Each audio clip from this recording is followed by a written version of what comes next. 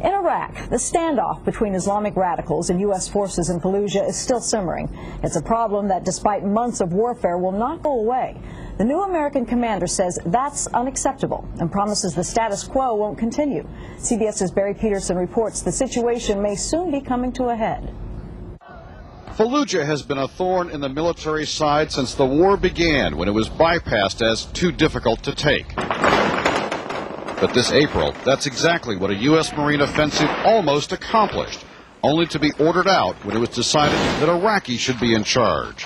A Fallujah brigade was formed, it disintegrated in weeks. The previous general called that vacillation, but the new man in charge told CBS News it was a good effort that didn't work. We pulled back to, to give negotiations a chance.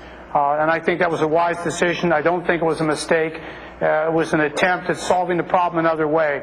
But based on the same, the same type of characters, the same thugs, the same intimidators, the same murderers exist inside the town, and they've intimidated the government there to where a negotiated peace, uh, I don't believe, is on the table right now.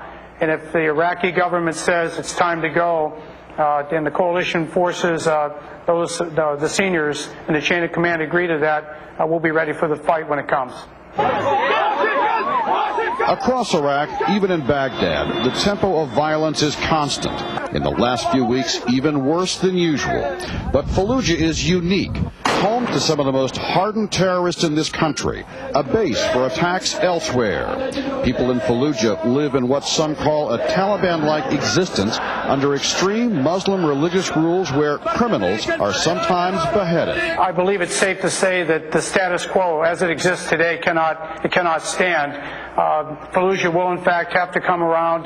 Fallujah will have, in fact, have to join up with the rest of the country and move towards uh, free elections, move towards governance, and we must reinstate the, uh, the rule of law, and security must be the rule, not the uh, exception within the town. America has already paid a high price for Fallujah. Seven Marines were killed in this attack on a convoy outside the city.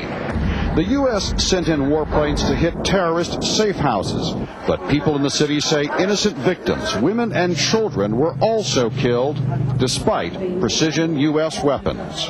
When we say that we have precision guided munitions, which we do, and every target that's struck, especially in, in Fallujah, uh, we do everything in our power to minimize collateral damage. Uh, but war, by its very nature, is violent. In war, all things are uncertain. But in this war, one thing is for sure. If the U.S. does not take Fallujah, there is no hope of reunifying this country and no way to stop the terrorists. If the fight comes and it comes our way, uh, we're going to do it extremely thoroughly. As I mentioned before, we will use precision where in fact we can. We will limit collateral damage, but uh, it will be a fight and we will not stop that fight until in fact we restore the town to the people of Fallujah and the Iraqi government. There is no timetable for taking Fallujah, and no doubt it has to be done, and soon. Barry Peterson, CBS News, Baghdad.